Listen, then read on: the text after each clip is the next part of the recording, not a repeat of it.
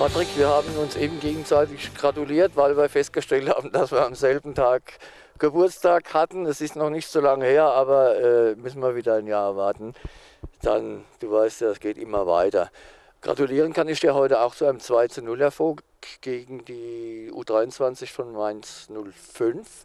Und es war ein schönes Fußballspiel bei schönem, aber windigem Wetter heute. Wie hast du, du das Spiel so gesehen? Mir hat vor allem die zweite Halbzeit gefallen. Da habt ihr schön, schönen Offensivfußball nach vorn gespielt. Ja, erstmal Dankeschön für die Glückwünsche. Ähm, erste Halbzeit war sehr schwierig für uns, weil es sehr, sehr windig war. Ähm, wir dann auch das Problem gehabt haben, dass man auf der Seite war, ähm, dass wir gegen den Wind gespielt haben. Und Mainz hat es ganz clever angestellt, die normalerweise bekannt sind für viel Kurzpass, für viel Ballbesitz. Sie haben viel Bälle, lange Bälle in die Tiefe gespielt, sie nachgeschoben, was dann nicht immer einfach zu verteidigen war. Aber die Jungs haben das eigentlich sehr, sehr gut gemacht, haben sehr wenig zugelassen. Ähm, der Elfmeter war für mich gar keiner, ähm, wie für die meisten Leute auch. Selbst schon Mainzer Trainer hat gesagt, es war niemals Elfmeter. Ähm, von dem her, ähm, aber dann trotzdem, dass der Benny dann seine Elfmeter dann auch hält, ähm, war dann sehr wichtig in der Phase.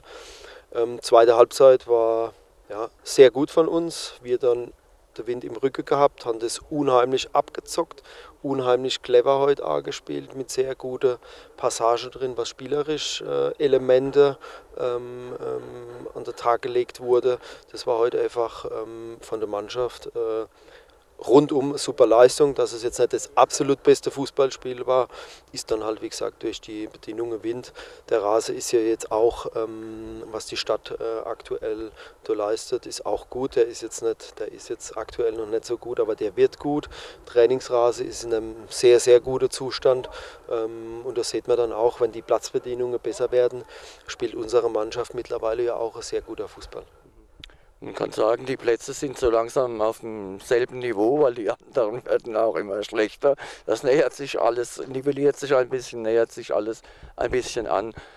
Besonders aufgefallen ist mir dann in der zweiten Halbzeit, habt ihr einfach besser Fußball gespielt für mein Dafürhalten. Äh, auch mit der Hereinnahme von Dimitrijevic, äh, denke ich, da war noch mehr Zug nach vorne im Spiel. Ja, ich habe es ja eben schon gesagt gehabt, es war halt auch ein großer Grund der Wind, ähm, weil wir dann, dann die zweite Halbzeit äh, auf unserer Seite hatten. Und natürlich ähm, haben die Spieler, wo dann eingewechselt wurde, ob es jetzt Dimi war oder Neo, und die anderen drei auch noch, Felix, Eichi und, und Hecker, auch wenn das jetzt für Eichi und Hecker dann ein relativer kurzer Einsatz war. Ähm, die Mannschaft gibt immer alles und das ist ähm, das, was wir, mir oder uns als Trainer sehr wichtig ist. Ähm, und du einfach dann einfach alles zu zeigen. Hoffen wir mal, dass wieder mehr Zuschauer jetzt äh, demnächst dann reinkommen dürfen.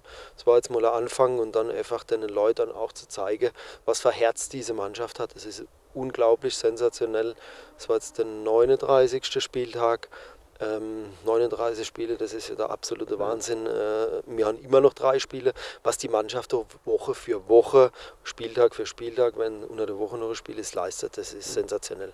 Man muss auch dazu sagen, dass die Mannschaft ja vom Kampf lebt, vom Einsatz und das macht ja konditionell schon was, macht körperlich auch was. Äh, da tut, da tut man irgendwie mit der Leistung irgendwie zurückstecken, wird immer ein bisschen weniger, aber wir waren konditionell voll auf der Höhe, kann man sagen. Äh, da hat man keinen Unterschied gesehen. Mainz war vielleicht äh, rein technisch gesehen ein bisschen besser ausgebildet, aber Sieg war heute absolut verdient. Jetzt haben wir noch drei Spiele, zwei schwere Auswärtsspiele in Stuttgart beim VfB und in, wie sagt man immer so schön, in Balingen mit H. Äh, das wird auch nicht leicht. Und das letzte wieder gegen Mainz, gegen die Glasfabrik, diesmal Schott Mainz. Äh, da werden wir die Saison dann ausklingen lassen und hoffentlich äh, auf Platz 16 mindestens stehen, dass wir auf dem Papier auch mal sagen können, wir sind nicht nur wegen Corona nicht abgestiegen. Ja, das ist klar das Ziel von uns, ähm, von der Mannschaft, vom ganzen Verein, ähm, dass wir diese sechs Mannschaften hinter uns lassen. Und man sieht es ja auch Woche für Woche, was die Mannschaft so leistet, dass die das unbedingt will. Dass da mal zwischendrin, wie es jetzt gegen Waldorf war, nicht so ein gutes Spiel ähm, ähm, an diesem Tag, das sind manchmal Phasen, das geht ja, das geht dann einfach für, diese Substa für diesen Substanzverlust, was die Mannschaft dann ähm, teils dann auch hat, nach denen viele englische Woche. Ähm, das ist einfach so, dass die Mannschaft dann auch mal ein schlechtes Spiel machen darf. Und wir haben es ja vor zwei, drei Wochen schon mal drüber gehabt. Ich kann es an einer Hand abzählen, äh, von denen viele Spiele, was nicht gut war, diese Runde. Und guckt der Bundesligamannschaft an, mhm. wie viele schlechte Spiele die teils dann machen. Und deswegen ist das bis dato eine super Runde. Wir wollen uns aber natürlich auch belohnen, auch wenn es um die goldene Ananas geht, dass wir diese sechs Mannschaften hinter uns lassen. Mhm. Dann wünsche ich euch viel Glück für die beiden Auswärtsspiele, die schweren Auswärtsspiele. Und eine Bitte habe ich noch am Schluss. Lass bitte, der verlässt uns, verlässt den Verein nach vielen Jahren, lass bitte gegen Schutz Mainz den Felix Bürger mal auflaufen.